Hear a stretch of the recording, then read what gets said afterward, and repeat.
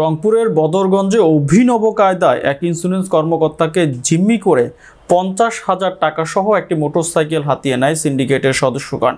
গতকাল অতিরিক্ত police super B circle Mohammad Abu Ashraf সিদ্দিকীর দিক নির্দেশনায় বদরগঞ্জ থানার অফিসার ইনচার্জ মোহাম্মদ নজরুল ইসলামের সার্বিক তত্ত্বাবধানে সাব ইন্সপেক্টর মেহেদি হাসানের নেতৃত্বে এসআই ওয়ালিউর, মশিউর, সফিউল্লাহ, এএসআই শরীফুল, আতিকুল, সীমারানী, সঙ্গীয় ফোর্স সহ একদল পুলিশের অভিযানে পৌর শহরের আট নং ওয়ার্ডের নুরুল হকের মেয়ে নূর নাহার শিল্পী, তিন নং ওয়ার্ডের মুন্সিপাড়া শামসুল হকের মেয়ে লিপি ইসলাম, সাত নং ওয়ার্ডের আমিনুল ইসলামের ছেলে মোহাম্মদ মজনু পাইকার, বদরগঞ্জ খিয়ারপাড়ার মোহাম্মদ দুলাল সরকার পৌরসভার থানা এলাকার তারাজুলের ছেলে বেলালকে গ্রেফতার করেন।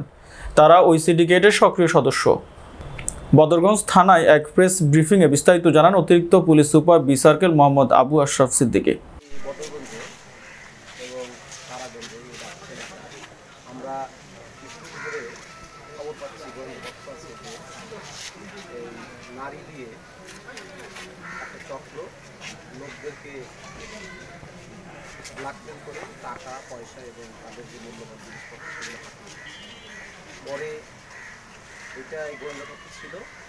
আমাদের চোদ্দ পুলিশ মহোদয় ফেব্রুয়ারি আলী চৌধুরী, রংপুর জেলা পুলিশের পুলিশ সুপার, ওনাকে অবহিত করার পরে ওনার প্রত্যক্ষ নির্দেশনায় এবং আমাদের আলহাজ সুপার পরিচিত পুলিশ সুপার সালতানা রাজিয়ার তত্ত্বাবধানে আমি সার্কেল রংপুর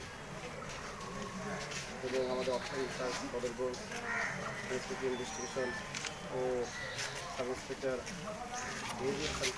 টিম করে আমরা অভিযান অভিযান চালানোর পরে এই ঘটনাটা ঘটেছে এক ভদ্রলোক যে ইন্স্যুরেন্স কোম্পানিতে ম্যানেজার ছিল, ওনাকে এই চক্রের সদস্য তারা ফোন দিয়ে প্রিমিয়ামের কথা বলে বারবার ডাকতে থাকে।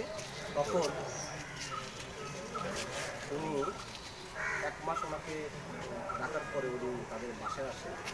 আসার পরে এই যে পূর্ব পরিকল্পিতভাবে যে সদস্যগুলো, এই চক্রের সদস্যগুলো, এরা চারপাশে উঠতে থাকে এবং যে নারী ছিল ওই বাসাতে যাওয়ার পরে তাকে আটক করে। আটক করে তাকে মারপিট শুরু করে এবং বলে যে, এই তুমি এখানে কেন এসছো?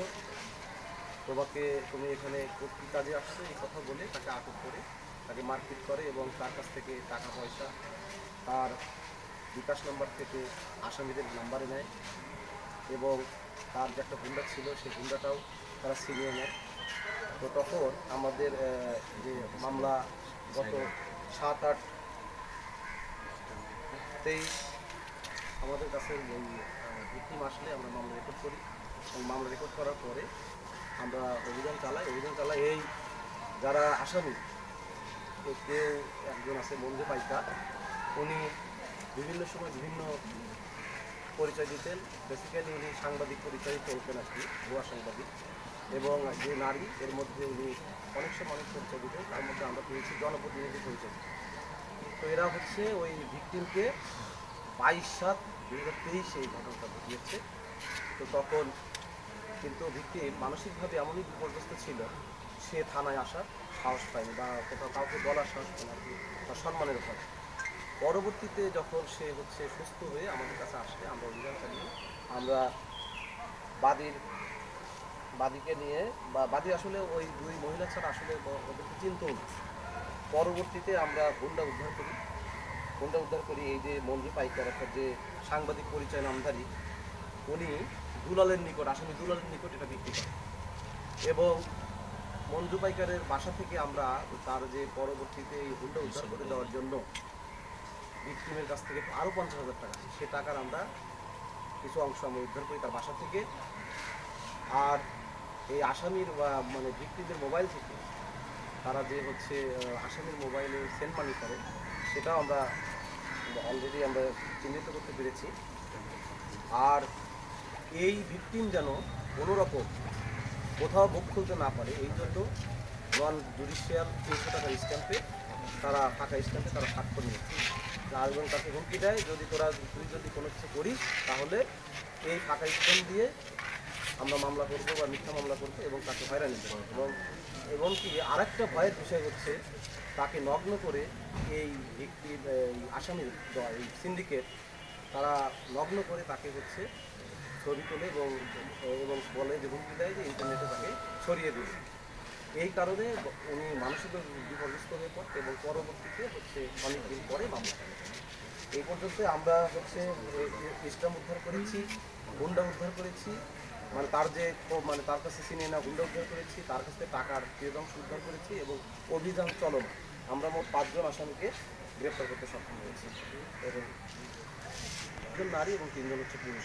এই সিন্ডিকেট, এই চক্রের একেবারে সক্রিয় সদস্য। আরও কিছু আসামি আছে?